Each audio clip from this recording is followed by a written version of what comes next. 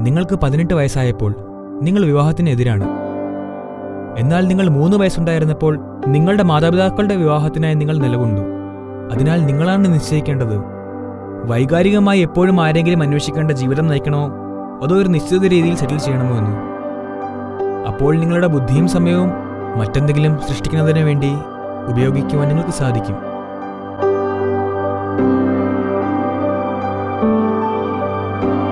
ജീവിതം ഒരു പങ്കാളി എന്ന ആശയത്തിൽ എനിക്ക് വിശ്വാസമുണ്ട്. അല്ലെങ്കിൽ അത് വിശ്വസിക്കുന്നതിലേക്ക് എന്നെ രൂപപ്പെടുത്തപ്പെട്ടിരിക്കാം.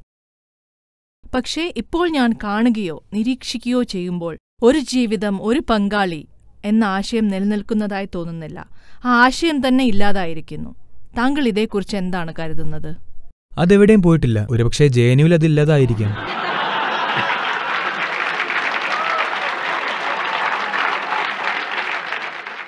ബാക്കിയുള്ള ലോകത്ത് അത് പോയിട്ടില്ല. നിങ്ങളിപ്പോൾ അമേരിക്കയിൽ പോവുകയാണെങ്കിൽ അവിടെയെല്ലാം താറുമാറായിട്ടുള്ളതുപോലെ നിങ്ങൾക്ക് തോന്നാം. എന്നാൽ അവിടെയും ആളുകൾ വിവാഹം കഴിക്കുമ്പോൾ അത് ജീവിതകാലം മുഴുവനും വേണ്ടിയാണെന്ന് അവർ കരുതുന്നു. എന്നാൽ രണ്ടു വർഷം കഴിയുമ്പോൾ അത് കഴിയും. അത് മറ്റൊരു വിഷയമാണ്. അവരുടെ വിവാഹം എക്കാലത്തേക്കുമാണെന്ന് അവർ വിശ്വസിക്കുന്നു. അതുകൊണ്ടാണ് അവർ ഡയമണ്ടുകളിൽ നിക്ഷേപിക്കുന്നത്. അവർ കരുതുന്നു അതൊരു ജീവിതകാലം മുഴുവനുമുള്ള നിക്ഷേപമാണെന്ന്. അവരത് അണിയുന്നു. എന്നാൽ നിർഭാഗ്യവശാൽ എല്ലാ കാര്യങ്ങളിലും ബന്ധങ്ങൾ തെറ്റായി പോകുന്നു. ആളുകൾ വളരെ വൈകി ജീവിതത്തിൽ കണ്ടുമുട്ടുന്നതാണ് അവ പെട്ടെന്ന് തെറ്റിപ്പോകാനുള്ള ഒരു കാരണം. നോക്കൂ ആളുകൾ ചെറുപ്രായത്തിൽ കണ്ടുമുട്ടുമ്പോൾ അവരുടെ വ്യക്തിത്വങ്ങൾ ഉറച്ചിട്ടില്ലാത്തപ്പോൾ. അവർ നേരത്തെ പതിനേഴിലോ പതിനെട്ടിലോ കണ്ടുമുട്ടിയാൽ രണ്ടാളുകളും വളരെ എളുപ്പത്തിൽ ഒരു ഒരു വ്യക്തിയെ തീരും. ഇപ്പോൾ അവർ ഒന്നിച്ചു ചേരുന്നത് മുപ്പതിലാണ്. രണ്ടുപേരുടെയും വ്യക്തിത്വം ഉറച്ചതിനു ശേഷം രണ്ട് സിമന്റ് കട്ടുകൾ പോലെ. എന്നാൽ ഞാൻ കാണുന്നത് ചെറുപ്പത്തിൽ വിവാഹം കഴിക്കുന്നവർ അതിൽ തുടരുന്നുവെന്നാണ് ഒരു അമ്പത് വയസ്സ് കഴിഞ്ഞ് വിവാഹം കഴിക്കുന്നവരും ഉലച്ചിലില്ലാതെ തുടരുന്നു. കാരണം അവർ വീണ്ടും മയപ്പെട്ടിട്ടുണ്ട്. ഇടയിൽ അതായത് മുപ്പതിനും അമ്പതിനും ഇടയിൽ ഇതൽപ്പം കോൺക്രീറ്റ് കട്ട പോലെയാണ്. മനസ്സിലായില്ലേ? ശക്തമായ വ്യക്തിത്വം. അപ്പോൾ ഉരസലുണ്ടാകുന്നു. അവർക്ക് അറിവുണ്ടെങ്കിൽ അവർ അതിനപ്പുറമുള്ള എന്തെങ്കിലും കണ്ടെത്തും. ശരി മോണോഗാമിയോ പോളിഗാമിയോ അല്ലെങ്കിൽ ഏതുതരം ഗാമിയും നിങ്ങൾക്ക് കാണണമെങ്കിൽ. നമ്മൾ മനസ്സിലാക്കേണ്ട പ്രധാന കാര്യം നിങ്ങൾക്കറിയാമോ? നമ്മൾ എല്ലാം ഇവിടെയുണ്ട്. നിങ്ങളും ഞാനും ഇവിടെയുണ്ട്. ഇതിനർത്ഥം ഒരു പുരുഷനും സ്ത്രീയും കുറച്ചു കാലം മുമ്പ് ഒന്നിച്ചു എന്നാണ്. ഒരുപക്ഷെ നിങ്ങൾ കരുതി അവർ മാതാപിതാക്കളാണ് അവർ സ്നേഹിക്കുന്നില്ല അവർ സെക്സിൽ ഏർപ്പെടുന്നില്ല അവർ ഒന്നും ചെയ്യുന്നില്ല. ഒരുപക്ഷെ ഒരു പുരോഹിതൻ മന്ത്രമുച്ചരിച്ചതുകൊണ്ടാണ് നിങ്ങൾ ജനിച്ചതെന്ന്. അല്ല അതങ്ങനെയല്ല. ആർക്കോ ഒരു ശാരീരിക ആവശ്യമുണ്ടായിരുന്നു. അവർ വിവാഹത്തിലൂടെ അത് നിറവേറ്റി. അതിനാൽ നമ്മൾ ഇവിടെ ഇരിക്കുന്നു. നിങ്ങൾക്ക് പതിനെട്ട് വയസ്സായപ്പോൾ നിങ്ങൾ വിവാഹത്തിന് എതിരാണ്.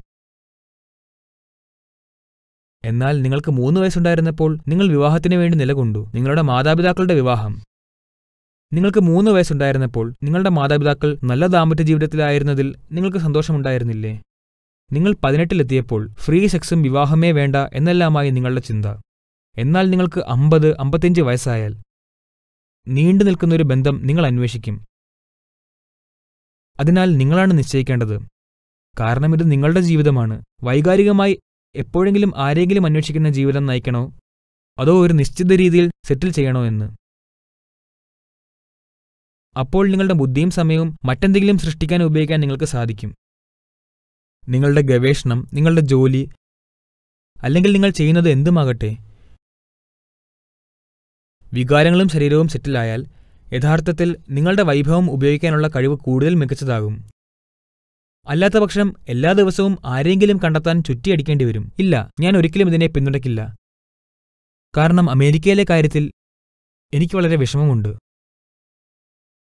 എനിക്കറിയാവുന്നവർ നിങ്ങൾക്കറിയാമോ? ആയിരക്കണക്കിന് ആളുകൾ ഇപ്പോൾ ഞാൻ പറയുന്നത് കേൾക്കുന്നുണ്ട്. നാൽപ്പത് നാൽപ്പത്തിയഞ്ച് വയസ്സ് കഴിഞ്ഞ സ്ത്രീകൾ. ഞാൻ പറയട്ടെ വിസ്മയിപ്പിക്കുന്ന മനുഷ്യർ. എന്നാൽ അവരെല്ലാം ഇതിലാണ്. ഇന്നത്തെ കാലത്ത് അവയെല്ലാം ഓൺലൈനിലുണ്ട്. അല്ലെങ്കിൽ അവർ ഒരു ബാറിൽ പോയി കാത്തിരിക്കുന്നു. ആരെങ്കിലും ഇന്ന് അവരെ കൊണ്ടുപോകേണ്ടതുണ്ട്. ഇത് ഭീകരമാണ്. ജനറേഷൻ എന്താണ്? ജനറേഷൻ നിങ്ങൾ അതിനെ എന്ത് വിളിച്ചാലും നാൽപ്പത്തിയഞ്ച് വയസ്സുള്ളപ്പോൾ ഒരു സ്ത്രീ ശരിയായ അന്തരീക്ഷത്തിൽ സ്നേഹിക്കപ്പെടുകയും ആദരിക്കപ്പെടുകയും വേണം. ഇപ്പോൾ അവൾ അവിടെയിരുന്ന് അപരിചിതനായ ഒരാൾ അവളുടെ മുന്നിലേക്ക് വരുന്നത് നോക്കിയിരിക്കുന്നു. അയാളൊരു ഡ്രിങ്കോ അത്താഴമോ മറ്റെന്തെങ്കിലുമോ അവൾക്ക് ഒരുക്കുമ്പോൾ അടുത്ത പത്ത് മിനിറ്റിൽ അവർ തീരുമാനമെടുക്കാൻ പോവുകയാണ്. ഇത് ദുഃഖകരമാണ്. എല്ലാവരും ആ വിധത്തിൽ പോകുന്നു എന്നല്ല അതിനർത്ഥം. എന്നാൽ മുഴുവനുമുള്ള ക്ഷേമത്തെക്കുറിച്ച് നിങ്ങൾ ചിന്തിക്കണം. നിങ്ങളൊരു സാമൂഹ്യ ഘടന തകർക്കുന്നതിന് മുമ്പ് ഒരു മികച്ച ഘടന കൊണ്ടുവരാൻ സാധിക്കുമോ എന്ന് ആലോചിക്കണം.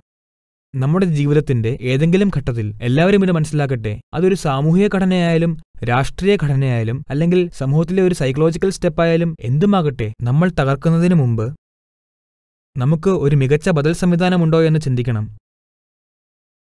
ഒരു ബദൽ സംവിധാനമില്ലാതെ ഒരുവിധം നന്നായി നടന്നു വരുന്ന ഒരു കാര്യത്തെ നിങ്ങൾ തകർക്കുകയാണെങ്കിൽ അത് നിങ്ങളെ ജീർണതയിലേക്ക് നയിക്കും.